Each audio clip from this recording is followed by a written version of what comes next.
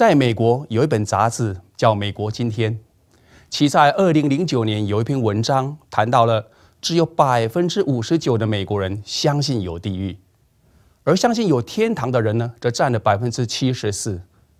这篇文章也提到了一个有关这主题的专题研讨会，题目是在地狱里究竟会发生什么事？主持人问了在场的传道人。有没有人曾经讲到是谈到地狱这个主题的呢？所得到的答案是没有人曾经讲过。然后这个研讨会继续的进行，也提出了下面的一段话：传道人的确回避永行这主题，因为这个社会不鼓励我们说一些负面的话。我想我们已经开始否认地狱的存在了。在这个课程当中呢，我们要谈到地狱这个主题。我们要回答以下三个问题：第一，地狱是什么？二，地狱不是什么？三，那些前往地狱的人将会发生什么事？我们会用圣经来帮助我们了解地狱这个可怕的地方。地狱是什么？你知道吗？人们对地狱有很大的误解。有些人对地狱的认知呢，也仅止于孩童时期看到的那些卡通的印象。他们想象地狱就像是一间恶魔的房子，魔鬼手里拿着大叉子，坐在一个滚烫的锅炉旁。而有些人认为地狱只是圣经里的一种比喻性的用法。另外，有些人想象这地狱呢是一处短暂受苦的地方，人被烧灭，然后就什么都不存在了。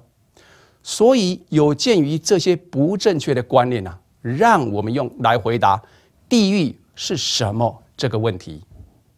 首先，地狱是个真实的地方。马太福音五章二十九节，耶稣说：“若是你的右眼叫你跌倒，就弯出来丢掉；宁可失去白体中的一体，不叫全身丢在地狱里。”耶稣提到，真的有地狱这么一个地方。地狱是什么？第二，地狱是一处痛苦的地方。马太福音十章二十八节，耶稣说：“那杀身体不能杀灵魂的，不要怕他；唯有能把身体和灵魂都灭在地狱里的，正要怕他。”启示录十四章十一节，用以下的用语来描述那些在地狱里的人所受到的痛苦：他受痛苦的烟往上冒，直到永永远远呐。地狱是什么？第三，圣经告诉我们，地狱是特别为魔鬼所预备的地方。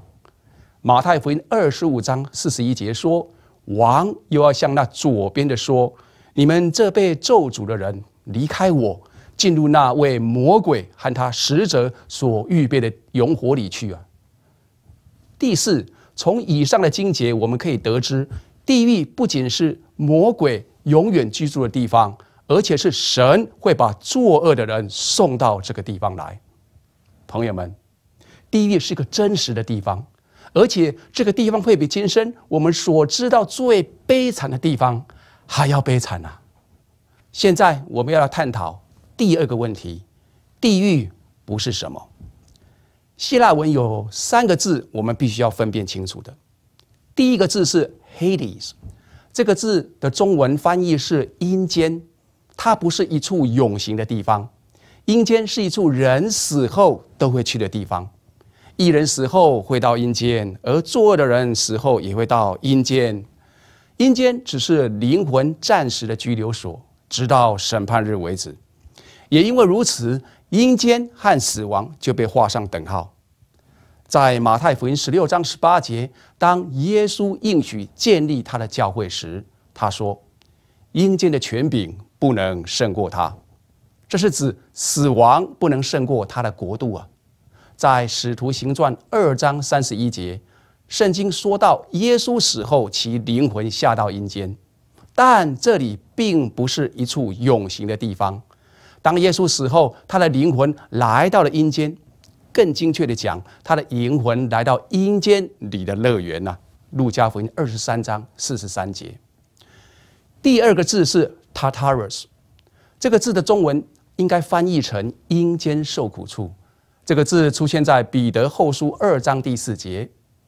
就是天使犯了罪，神也没有宽容，曾把他们丢在地狱，交在黑暗坑中等候审判那这里所谓的地狱，应该要翻译成阴间受苦处，希腊文是 Tartarus。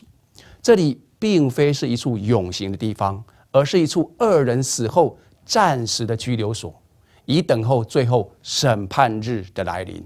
第三个字是 Gehenna，这个字就是我们这一个课程里所要探讨的地狱，它是一处永刑的地方。这是 Gehenna。在新约圣经中出现的有十二次，其中耶稣自己就使用了十一次。现在就让我们进入第三个问题：地狱像什么？为了要帮助你体会这个可怕的地方，我要列出地狱里的七项恐怖。第一项，黑暗的恐怖。犹大书十三章谈到了那些远离基督的人，他们像是海里的狂浪。涌出自己可耻的泡沫，他们像是流荡的心。然后他说：“有墨黑的幽暗为他们存留。”有趣的是，在马太福音二十五章三十节里，耶稣提到了那无用的仆人。他说：“把这无用的仆人丢在外面的黑暗里。”我们看到了圣经的用词，不只是黑暗，而且是墨黑的幽暗；不只是黑暗，而且是外面的黑暗。地狱是一处远离光明的地方。为什么地狱是黑暗的呢？这也许是因为约翰一书一章第五节说：“神就是光，在他毫无黑暗。”第二项恐怖是火的恐怖。地狱一直是被火烧着的。在马太福音二十五章，我们可以知道，当审判日来临，主耶稣要把人分成两边，他会对左边的人说。四十一节，你们这被咒诅的人，离开我，进入那为魔鬼和他的使者所预备的永火里去。所以在地狱里的第二项恐怖，就是那烧着永远不灭的火啊！但是有些人有一个观念是，他们认为人下到地狱只是被烧掉，然后就不见了，这就是所谓的毁灭说，也就是被火给毁灭了，烧不见了。但是。圣经的教导并非如此，让我们听听马可福音九章四十三以及四十四节所说的：“倘若你一只手叫你跌倒，就把它砍下来；你缺了肢体进入永生，强如有两只手落到地狱，入那不灭的火里去。”四十八节，在那里虫是不死的，火是不灭的，虫是不死的，这是什么意思呢？通常啊，当一个人死后，虫会吃尸体，然后尸体就被毁坏殆尽了。但是在地狱里并非如此，在地狱里的这种消耗过程是无穷无尽的。这经节所要传达的信息就是，人在地狱是一直被火烧着，而这个过程是从不停止的。在这段经文里，主耶稣重复的说：“地狱的火是不灭的。”朋友们。地狱最恐怖的其中一项，就是在那里的居民是住在不灭的火中啊！在新约圣经里，地狱和火常常相提并论，这并非是比喻，而是真实的情况。圣经有时候会用如火一样，或是像火一般来形容其他的事，但是谈到地狱，圣经只是用火这个字来形容地狱。第三项恐怖。是一些不会出现在地狱里的事。也许你可以列举出一长串的名单，但我在这里只要提到两三件事是地狱里所没有的。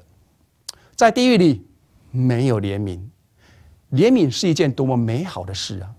提多书三章第五节说：“他便救了我们，并不是因为我们自己所行的义，乃是照他的怜悯。”我们任何人能够上天堂，都是神的怜悯啊；而在地狱里是没有怜悯的。谁会怜悯那些已经前往地狱里的人呢？你能够了解每一个在地狱里的人都是处在相同的情况下。谁能在地狱里说：“哎，让我来帮你？”这是一点意义也没有的，因为在地狱里根本没有怜悯啊。在地狱里，是没有盼望的。假如地狱的刑罚是一千年，然后有另外一个审判日，让你有第二次的机会，或许你可以假设，呃，会有什么方法可以让你暂时的喘口气？但是事实上，没有，所有的希望都远离而去了。所以地狱的恐怖就在于那里没有怜悯，没有希望，也没有孩童般的欢笑。第四项恐怖，记忆的恐怖，在路加福音十六章，我们读到了一位财主和一位穷人，名叫拉萨路的故事。拉萨路是对神敬重的，但财主死的时候，他的灵魂是处在一个失丧的状态。我们要读这一段经文，特别要注意的是关于他记忆的部分。路加福音十六章十九节起。有一个财主穿着紫色袍和细麻布衣服，天天奢华宴乐。有一个讨饭的，名叫拉萨路，浑身深长，被人放放在财主的门口，要得财主桌子上掉下来的零碎充饥，并且狗来舔他的疮。后来那讨饭的死了，被天使带去放在亚伯拉罕的怀里，财主也死了，并且埋葬了。